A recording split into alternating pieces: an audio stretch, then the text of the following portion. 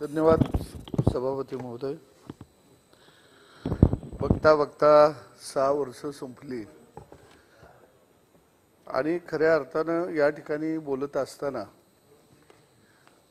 या सभागृहापर्यंत किंवा आपण आमदार होऊ हे कधी स्वप्नातच वाटलं नव्हतं. कारण एका खेडेगावामध्ये शेतकरी कुटुंबामध्ये जन्म झाल्यानंतर कमी शिक्षण आणि मग खऱ्या अर्थानं शेतकरी चळवळीशी नाळ जोडली गेली. आमच्या भागातले दादा पाटील त्यांनी मला शेतकरी चळवळीशी जोडलं. आणि एकोणीसशे शहाऐंशीला मी शेतकरी चळवळीशी जोडलो गेलो. एकोणीसशे अठ्ठ्याहत्तर साली मी एका दूध डेअरीमध्ये पन्नास रुपयाच्या महिन्याच्या पगारानं काम करत होतो. चौऱ्याऐंशीला मी स्वतःची दूध डेअरी काढली चेअरमन झालो. आणि शहाऐंशीला परत आम्ही शेतकरी चळवळीकडं ओढलो गेलो. आणि अनेक आंदोलन झाली. आणि दुधाचं आंदोलन असेल कापसाचं आंदोलन असेल सोयाबीनचं आंदोलन असेल कर्जमाफीचं आंदोलन असेल वीज विजेचं आंदोलन असेल उसाचं आंदोलन असेल एवढी आंदोलन एवढे कार्यक्रम असायचे. आणि बऱ्याच वेळा या आंदोलनामध्ये अंगावर गुन्हे होत गेले. म्हणजे माझ्या अंगावरती टोटल गुन्हे. मी लोकसभेला उभा राहिलो साहेब त्यावेळी दोनशे त्रेसष्ट होते.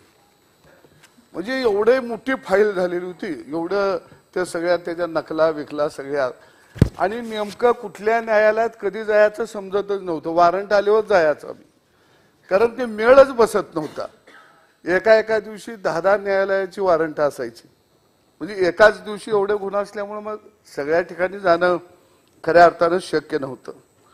पण चळवळीमध्ये काम करत असताना शरद जोशींनी खऱ्या अर्थाने एक विचार दिला की एका दाण्याचे हजार दाणे करणारा शेतकरी गरीब का राहतो हा विचार समोर ठेवला आणि त्या एका विचारानं महिना महिना दोन दोन महिनं आम्ही घराच्या बाहेर असायचं. मला आठवतं की सतीश भाऊ मराठवाड्यामध्ये गम गमजा गळ्यात घालतात. तो टावीला आमच्या गळ्यात असायचा. आणि भाषण झालं की त्या टावीला आम्ही पुढं हातरायचा. आणि आम्ही म्हणायचं की पुढच्या गावाला जायला तुम्हाला खिशात हात घालावा लागेल. मग चार आणं आठ आणं रुपया असा खुर्दा जमायचा.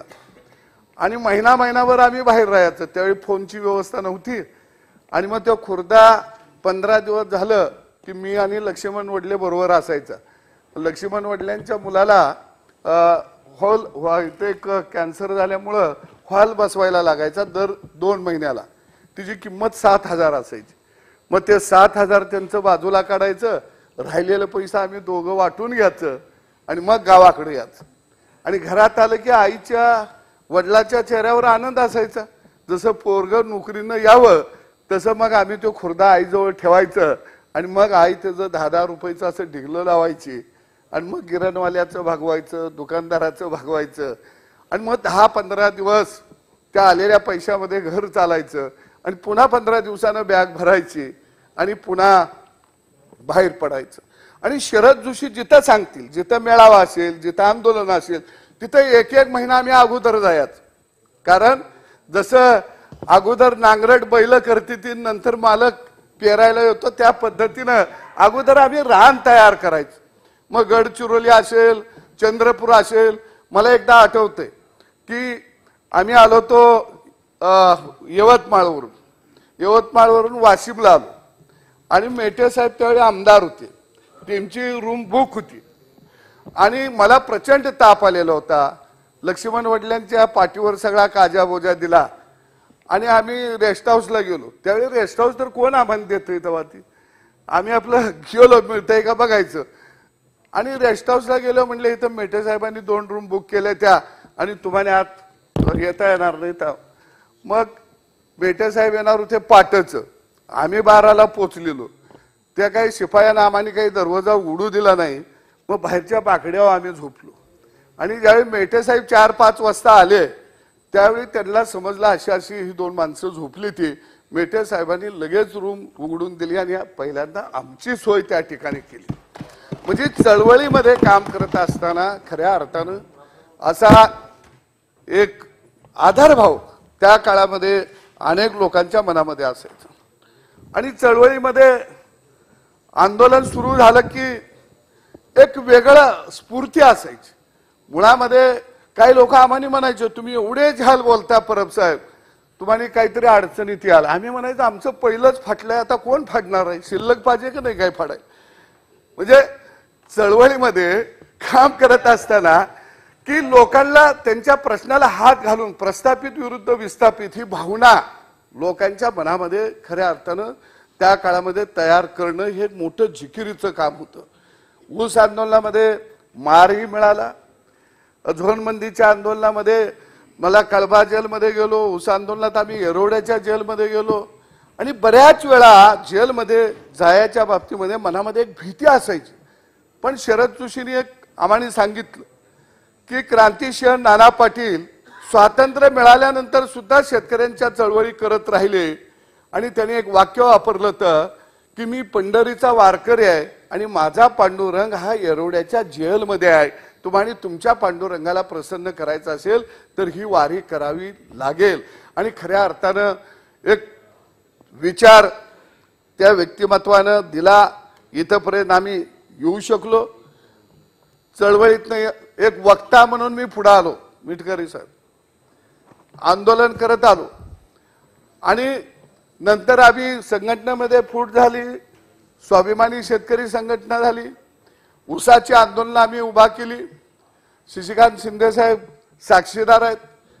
पंधरा पंधरा दिवस महिना महिनाभर पश्चिम महाराष्ट्रामध्ये साखर कारखान्याची चाकं जाग्यावर राहायची एकही वाहन चालायचं नाही. आणि चळवळीमध्ये येता येता आमदार म्हणून आलो युती झाली लगेच मंत्री झालो. मंत्री झाल्यावर मग पुन्हा लगेच अधिवेशन बी आलं. अधिवेशन आल्यावर प्रश्न उत्तर आली. आता प्रश्न योग असायचा त्याचा अभ्यास मी रात्रभर करायचा. संध्याकाळ मी बारा एक वाजेस्तोवर वाचून जरी झोपलो तरी तो प्रश्नच देण्यात राहायचा. कसं बोलायचं काय बोलायचं? आणि जेव्हा एवढा कागदाचा गट्ट्या घेऊन मी याचा प्रश्न जो आहे त्याच्यावर अभ्यास केलेला असायचा. आणि पुढनं उप प्रश्न वेगळंच याच.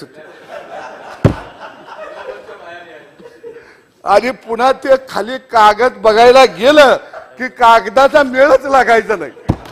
शिंदे साहेब होते सगळे उठून फुटणं यायचे. आता बोला शेतकऱ्यावर काय कळायचंच नाही आता बोलावं काय? आणि मग मला खडसे साहेबांनी सांगितलं की चौकशी केली जाईल कारवाई केली जाईल पटलावर ठेवलं जाईल. हे ध्यानात ठेवायचं म्हटले. अडचणीत आलं की निश्चितपणानं कारवाई केली जाईल तुमचं मत बरोबर आहे एवढं म्हणायचं बाजूला होयाच. आणि एवढं वाचायला लागायचं खरोखर सभापती महोदय एवढा अभ्यास शाळेत जर केला असता तर मी कलेक्टर झालो असतो.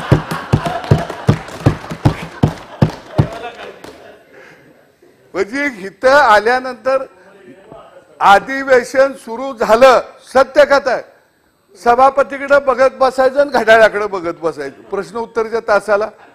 एक तास संपला आणि सभापती म्हणले तास संपला की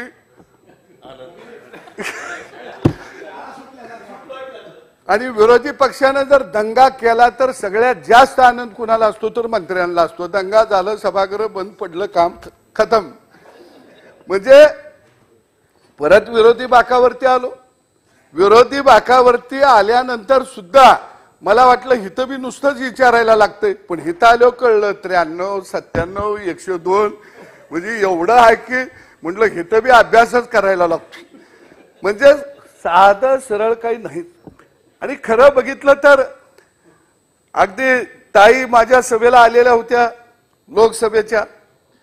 आणि मला माझ्याकडं कृषी पणन खातं होतं. शशिकांत शिंदे साहेब आहेत. मी आडत नियमनमुक्तीचा आग्रह धरला. भाजपाला नियमनमुक्तीचा आग्रह धरला. ते एका बाजूला होते मी एका बाजूला होतो. मी माझ्या विषयाशी ठाम होतो. परत माझ्याकडं मेटे साहेब पाणी पुरवठा खातं आलं. ते तर खातं असं मजेत आलं सभापती महोदय. देवेंद्रजी एका कार्यक्रमाला आलेले होते सांगलीला तासगावला. आम्ही दोघं बसलो हेलिकॉप्टरात. आणि म्हणले सदाभाऊ तुम्हाला एक खातं नवं देतो. पाणी पुरवठा. म्हणलो द्या बरं झालं. आणि आम्ही शिराळला गेलो कार्यक्रमला. आणि साहेब बोलता बोलता म्हणले की मी आता एक भेट देणार आहे. आता जेणे कार्यक्रम घेतला त्यांना वाटलं माझं मंत्रीपद जाहीर होतंय. त्यांनी लावल्या फटांगड्याच्या माळा आणि खातं जाहीर झालं सदाभाऊचं.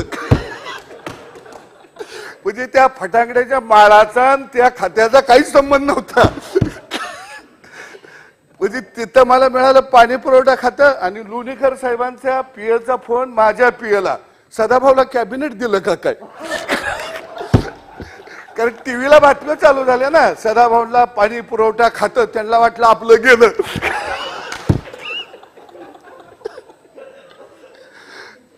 पण ते मला राज्यमंत्री पद होतं हो. ते खाली होतं. आणि मेटे साहेब म्हणते ते बरोबर आहे.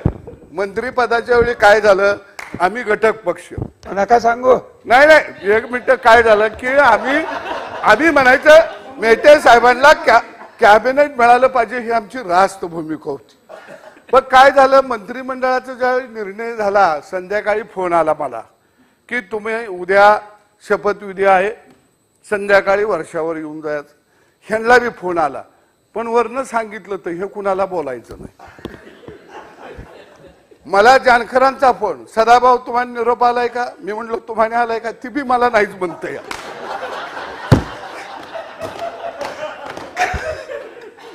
आणि मग मला बी वाटायला लागलं शशिकांत शिंदे साहेब मला एकट्याला चालाय वाटतं. मुख्यांचा एक वाजेस्तोर फोन मेटे साहेबांचा. नक्की सदाभाऊ निरोप आला का नाही? अजिबात आलेला नाही. आला.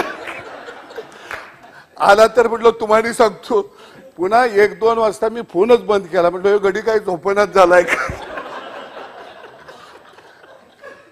अरे सकाळी जेव्हा आम्ही शपथविधीला निघालो शशिकांत शिंदे साहेब तेव्हा मेठे साहेबांना म्हटलं आता फोन तर लावावा घटक पक्षाचा गडी आहे. पुन्हा ह्यांचा फोन स्विच ऑफ झाला.